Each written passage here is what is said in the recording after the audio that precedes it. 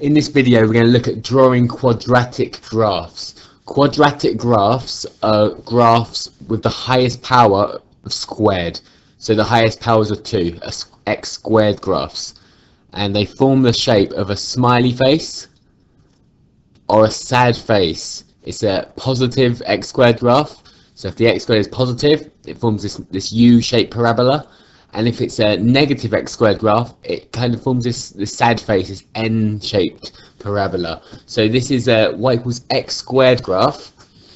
We may get a calculator to do these questions but we may not. So we're going to do it without a calculator now. If you have a calculator you can just write whatever x is inside a bracket. So and change the number in here. So if I wanted to work out 3 squared, so for this one, I'd put 3 inside the bracket and squared. The brackets are important because the calculator will get the minus signs wrong if you don't put the brackets in. So 3 squared is 9, and then I'd put 2 squared, that's 4, 1 squared, which is 1, 0 squared is 0, and minus 1 squared, this is where the brackets are really important. Minus 1 times minus 1 is positive 1. Minus 2 squared is positive 4. And minus 3 squared is positive 9. So when we've got these, these are our coordinates now. These are our x and y coordinates. So x, y, 3, 9, 2, 4. These are what we plot on the graph. So 3, 9, 3, 9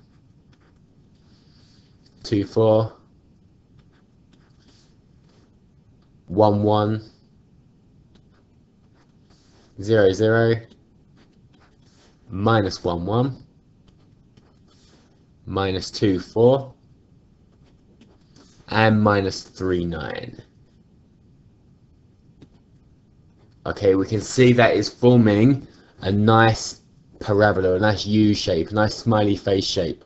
So we know that it's we haven't made a mistake. We, if it didn't form that shape, we would have made a mistake, and we can go and look back and see what it is. And that is roughly what they look like.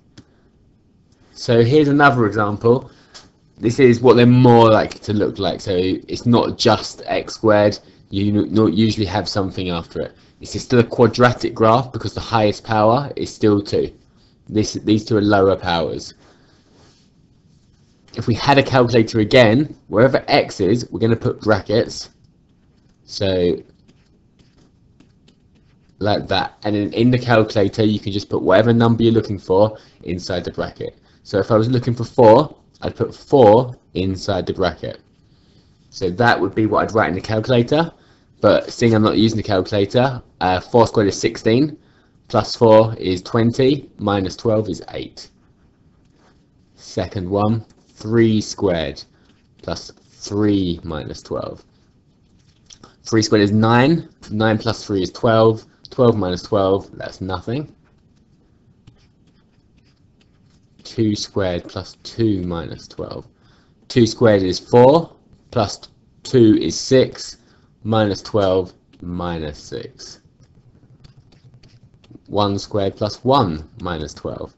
1 plus 1 is 2 minus 12 minus 10.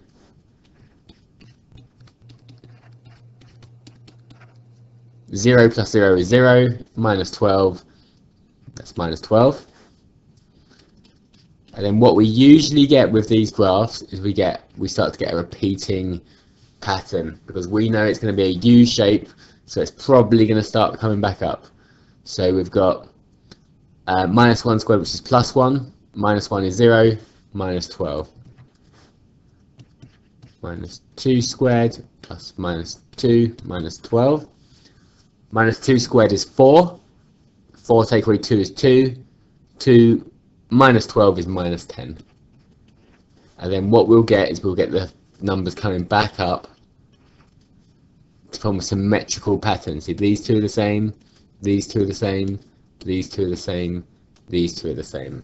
It's worth checking um, if I minus 3 squared plus minus 3 minus 12, That's 9 minus 3 is 6. 6 minus 12 is minus 6. Minus 4 squared is 16. 16 minus 4 is 12. Minus 12 is 0. So that's what we've got there. And then again, plot the coordinates. So 4, 8. 4, 8. 3, 0. 2 minus 6. 1 minus 10. 0 minus 12. Minus 1 minus 12. Minus 2 minus 10. There. Minus 3 minus 6. Minus 4, 0. And then again, we've got this U-shaped graph. So we can draw it going down just below there and back. Okay, here's another one. Um, try and fill out the grid and then plot the coordinates. Give it a go.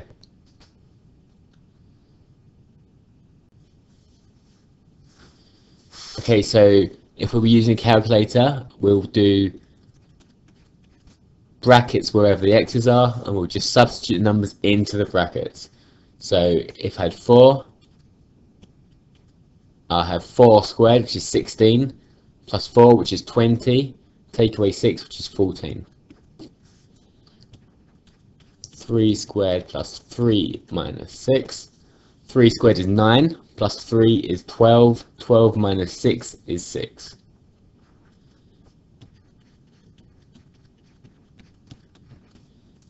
2 squared is 4, plus 2 is 6, minus 6 is 0. 1 squared is 1, plus 1 is 2, minus 6 is minus 4.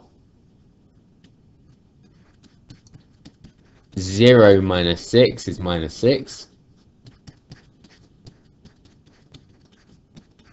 Minus 1 squared is plus 1, take away 1 is 0, minus 6 is minus 6. And then what you're going to find is pattern repeats. So we're going to get the same numbers on this side. Let's, I'll do minus 5 to check. Minus 5 squared is 25. Minus 5 is 20. Minus 6 is 14. You can see how that works. If you've got a calculator, it's, it's easy to do this quickly. You just change a number inside the brackets. Um, but seeing we weren't using the calculator, it's important also that we spot the pattern. It's repeating on both sides. So we've got the coordinates now. 4, 14, 3, 6, 2, 0, 1 minus 4, 0 minus 6, minus 1 minus 6, 2 minus 4, minus 3, 0, minus 4, 6, and minus 5, 14. And again, we've got a nice U shape, nice smiley face shape graph. And we just join through the points as accurately as possible. Slightly below there. And then up.